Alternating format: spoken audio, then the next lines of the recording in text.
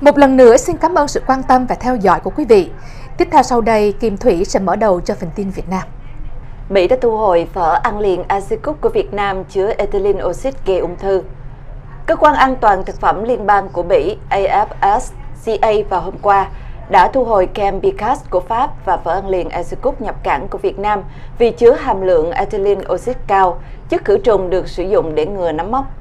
Việc thu hồi các loại sản phẩm chứa nhiều hóa chất độc hại đã được tiến hành từ tháng 6 kéo dài đến nay vẫn chưa hoàn tất. AFSCA yêu cầu công chúng không tiêu thụ các loại sản phẩm trên và mang trả lại địa điểm bán hàng.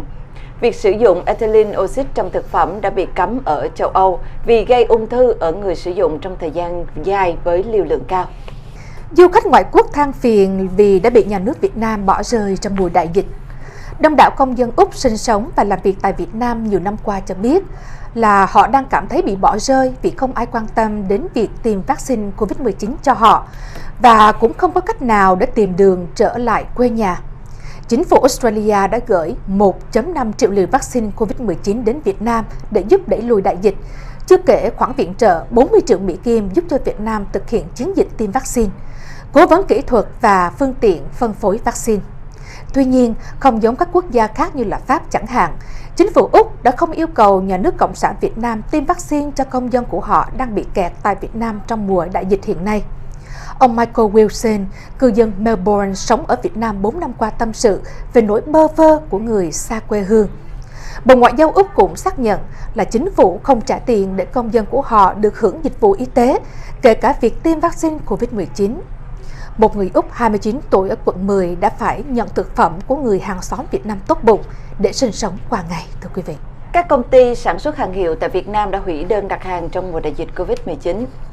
Số ca nhiễm COVID-19 đang tăng vọt tại Việt Nam đã làm gián đoạn từ 30 đến 35% nguồn cung cấp vật liệu, đã buộc các nhà điều hành của các công ty sản xuất hàng hiệu nổi tiếng trên thế giới như là Nike, Adidas và Under Armour phải hủy đơn đặt hàng.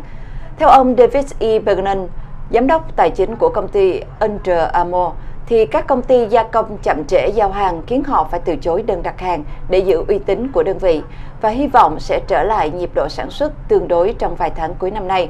Under Armour đã cung cấp khoảng 1 phần 3 sản phẩm được sản xuất tại Việt Nam cho thế giới, đang bị khan hiếm hàng hóa vì tình trạng đóng cửa các nhà máy, gián đoạn nguồn cung cấp. Adidas thì bị thiệt hại khoảng 500 triệu euro về doanh thu vì nhà máy ở Việt Nam đã bị đóng cửa trong mùa đại dịch. Khoảng 50% sản lượng về Nike, thương hiệu đồ thể thao được sản xuất tại Việt Nam cũng đã giảm một nửa sản phẩm cung cấp cho thị trường Hoa Kỳ vào mùa thu năm nay. Và kính thưa quý vị, sau đây là bản tin cuối của ngày hôm nay. Gần 4.000 mạng đã bị tin tặc tấn công ở Việt Nam 7 tháng đầu năm 2021.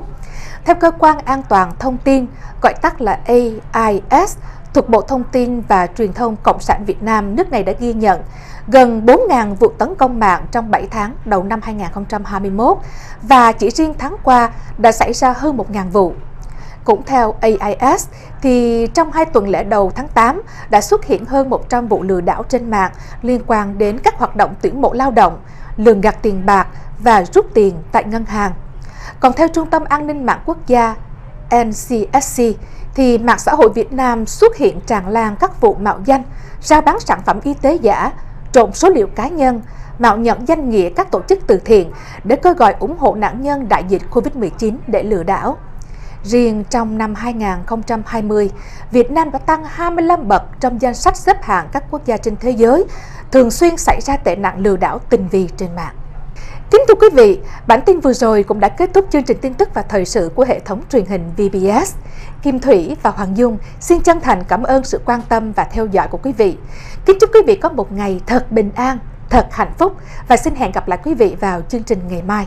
Xin kính chào tạm biệt quý vị.